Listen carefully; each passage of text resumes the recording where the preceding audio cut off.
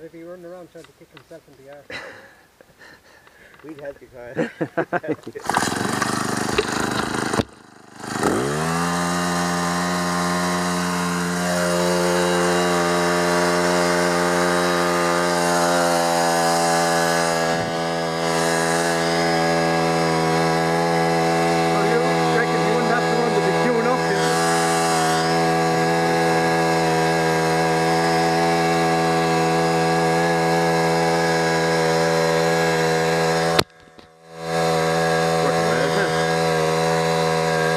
施設がない。